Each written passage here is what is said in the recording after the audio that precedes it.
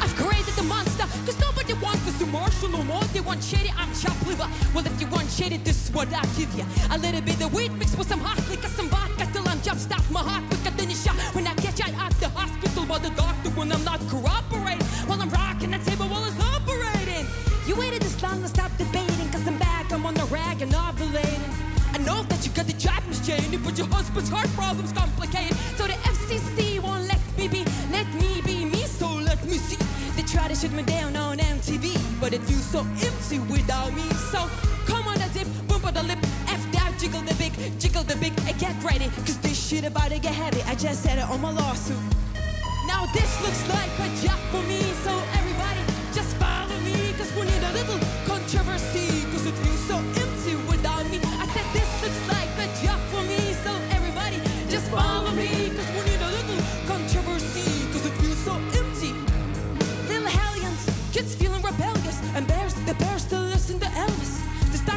like prisoners helpless. Then someone comes along on a mission and yells, a visionary, vision of scary, cause start a revolution, balloon the airwaves are rebel. So just let me revel and bask in the fact that I got everyone kissing my ass, and it's a disaster, just a catastrophe. What did you see so damn much on my ass? You asked for me? Well, I'm back, na na na na na na na na fix a bad antenna, tune it, then I'm gonna enter run under her skin like a splitter. The center of attention, back for the winning, I'm interesting. Best things is rusting, investing in your kids' ease and nesting. Destined, attention please, feel the tension. Someone, someone's mentions me. Here's my ten cents, my two cents, it's free. A new cent, who sent, you sent for me. Now this looks like a job for me. So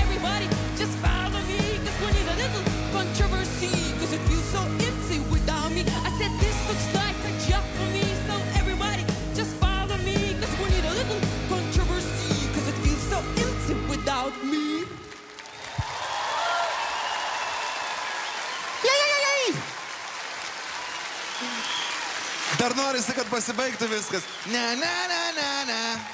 Ne, ne, ne, ne, ne. Ne, ne, ne, ne, ne. Ne, ne, ne, ne.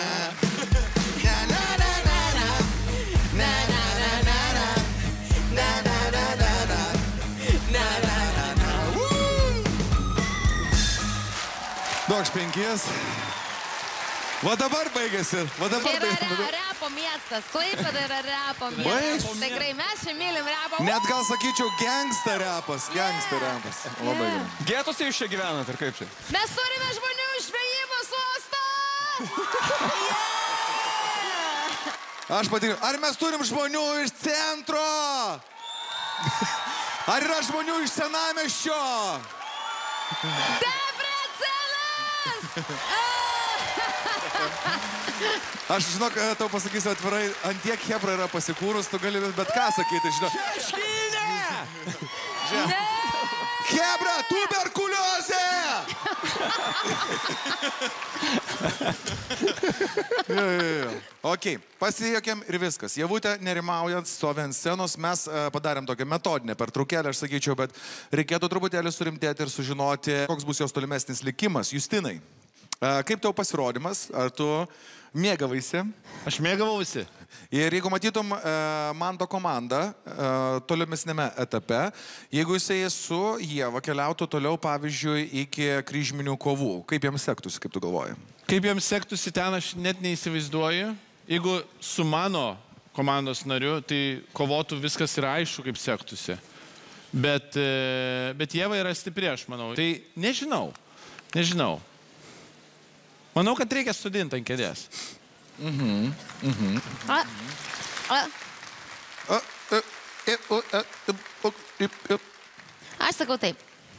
Kol yra kėdžių, sodina man tai. Nes tavo, uh, tavo komanda yra tokia skirtinga, kad dar iš vis neaišku, ką tu ten galvoji apie sekantį etapą. Aš manau, kad uh, merginos hip-hopė turi būti palaikomos. Dėl to sodinčiau į antrą arba ketvirtą kėdės. Tikrai Ach, taip. Tu senas reperi. Jaunas atsiprašau. Nes tu, okei. Okay. O tu moki repuoti, šiaip liu. Turi kažkokią repo dainą, galėtum? Aš turėjau repo grupę, aštuntas maršrutas vadinosi. Ir- Ir, mes klaipėdai. Nors vieną stulpelį kažkokį. Kiek kartų keliame rankas aukštai į dangų, laikėme orą ant rankų, mylėjome naktį prie kranto. Lietai klausiu, ką mums dainuoja jūros bangos. Skrendu lengvai, skrendu lengvai. Rašau aš naktimis, nes naktimis man būna liūdna, saulė leidžia, miestas griūva. jo, mes turėdavom repą klaipėdai, labai daug. Buvo labai, labai seni geri repo laikai. Ačiū. Labai. Prašau. Priminėjai tos senus gerus laikus. Ai, mabu. Benai. kadangi esu pilnai atsipalaidavęs, labai, apie labai daug dalykų galvoju iš tikrųjų. Pavyzdžiui, dabar pagalvojau, aš atliksiu tą pareigą ir, ir šį kartą, kad e, pavyzdžiui, e, aš e, grupę pavadinčiau greitojo reagavimo būrys. Žiūrėkit, Monika pradėjo dainuoti. Iš karto, Hebra, iš karto Virina prisijungė. Paplokit dar kartelį grupiai.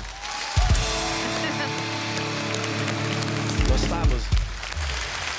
Aš tiesiog, aš turiu daug laiko dabar, žinai, tai aš tiesiog klausau ir galvoju, ant kiek čia viskas pro. Jėva irgi, Jėva irgi labai pro. Šiaip galvojau, kad e, man ta komanda tokia e, labai eklektiška, lab, labai labai skirtinga, tokio kaip ir aiškaus braižo nėra, bet tas skir skirtingumas dalyvių labai labai žavi ir faina. Taip. Aš sutikčiau, kad kol yra, tol reikia sodinti.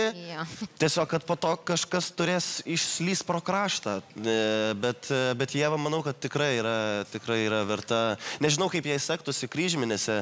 Bandžiau suprasti, su, su kuo ją reikėtų sukryžminti ir kaip sektųsi.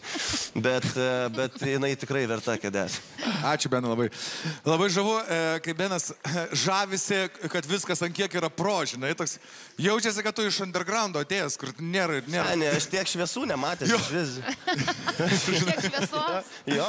Aš tik priminsiu tiek tau, tiek e, Justinui, kad jūs vis dar turit pavagystę. Tai aš tikiu, kad jūs esate pakankamai atsipalaidavę, tačiau jau manau tikrai tai turėtų būti svarbu, kasgi kris iš manto komandos, tam, kad jūs galėtumėt tą žmogų gal pasimti savo komandą.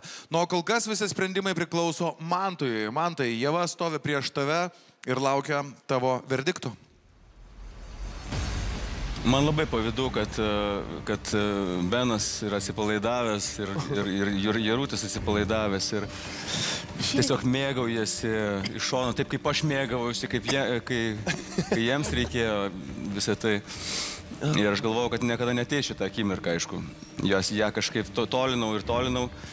Sąmonės. Javutė, tu esi uh, labai originalus grinuolis šiame projekte ir man labai patinka, kad tu šiame projekte esi, uh, atnešiai repo kultūrą į, į Lietuvos balsą, todėl aš niekaip, uh, na, bent jau ne šią akimirką negaliu pagalvoti apie tai, kad tiesiog galiu, galiu taip atsisveikinti. Aš galiu tau pasiūlyti ketvirtą vietą. Jau keliauja su reitinguota manto ir užima ketvirtąją vietą.